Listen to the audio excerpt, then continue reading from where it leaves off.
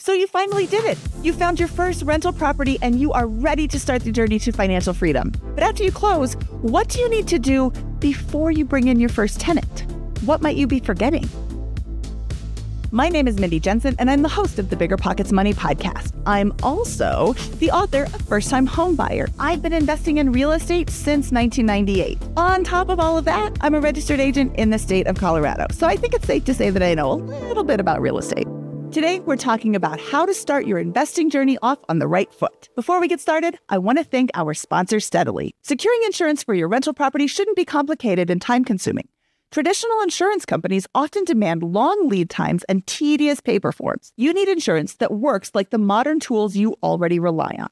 Enter steadily.com, your solution for fast and affordable landlord insurance. Say goodbye to the hassle of waiting and get next day coverage that only takes minutes to obtain, all from the convenience of your phone. Steadily was founded by landlords who know the unique needs of this industry. Whether you're managing single family properties, overseeing short term rentals, or handling apartment buildings and beyond, Steadily can secure the best coverage at the best price for your real estate investments. Discover how Steadily can save you both time and money on your rental property insurance. Visit steadily.com for a commitment free quote tailored to your needs today. Number one, walk through the property. If it's vacant, turn to your home inspection report. If this is your first rental property, you got one, right? So go through it and look for health and safety issues that need to be repaired that didn't get taken care of by the seller. Next, look for maintenance or deferred maintenance issues that are going to need to be taken care of anyway and do them now. Your new tenants will thank you for this, and so will your wallet. And if it's not vacant, schedule a time to meet your tenants and ask them to prepare a list of items that need to be repaired prior to the meeting. You'll start your relationship off on the right foot by letting them know you care about the condition of the property.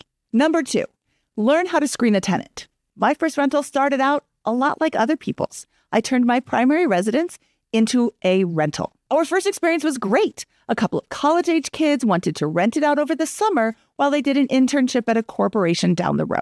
They were nice, they paid all their rent up front, and since they did, we didn't need to do a background check. Yay! They left it moderately clean when they vacated. I'm not sure if you caught a couple of those red flags that I mentioned. We didn't either because A, we didn't know, and B, they didn't turn out bad for us. Let's look at those red flags. Paying all the rent up front. Now, this sounds super awesome. You don't have to worry about your tenant not paying rent, you don't have to hunt them down for the rent. But this could be a red flag in that they are paying the rent up front, so you mm-hmm. leave them alone. They could be planning all sorts of nefarious things with your property. And since the rent is paid and they're not asking you to repair anything, you leave them alone. It's not always a red flag, but it's definitely something to look a little deeper into. Now, our guys needed to pay their rent up front because the corporation gave them the money for it and they just passed it along to us. They wanted to be responsible. And remember how we didn't need to do a background check because they paid all their rent up front? Yeah, don't skip that step either. Our guys were fine, but they could have been totally lying about that internship. They could have been lying about what they were planning to do with the property. And how would we know? We didn't run a background check. Our second tenant was a little bit different. Technically, he paid his rent on time and he left when we didn't renew his lease. But he did not leave the house clean. And some of the stuff he left behind was really gross. We could have kept his security deposit, but we didn't. In fact, I don't even think we collected a security deposit. That is a mistake. And while these are not nearly as bad as some of the absolute horror stories that I have read on the BiggerPockets forums, they could have been much, much worse. We could have rented to the numerous people asking if it would be okay if they ran an in home daycare center in our house. Uh, no. Or those who didn't have the security deposit up front, but they could come up with it over the course of the next six months.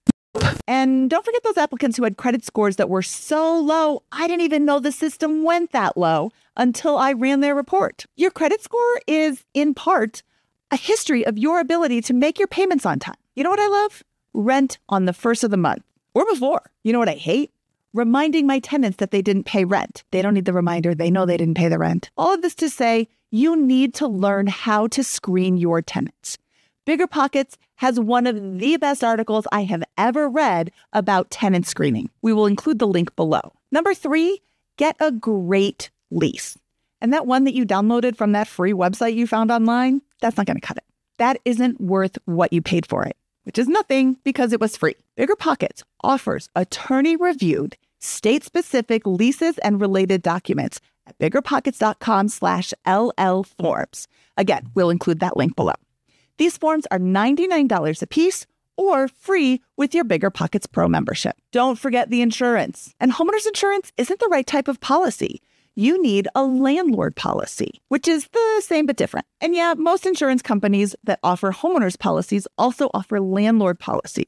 And you should absolutely compare rates and bundling discounts with your current insurance provider. Don't forget companies like Steadily who specialize in landlord insurance. Now, I'd love to be able to say this is all you need to know about landlording, but that's not true. We both know that's not true. This is just scratching the surface. You need to make an account at biggerpockets.com if you have not already. So you can dive deep into the blog, the forums, the books, the podcasts, the videos, the boot camps, and so much more that BiggerPockets has to offer. Did I say it was a free account? It's free. I want to hear from you. What steps did you take when you bought your first rental? What steps did you forget? Let me know in the comments. If you like this video, please click the thumbs up and don't forget to subscribe to this channel for more videos just like this. This is Mindy Jensen signing off.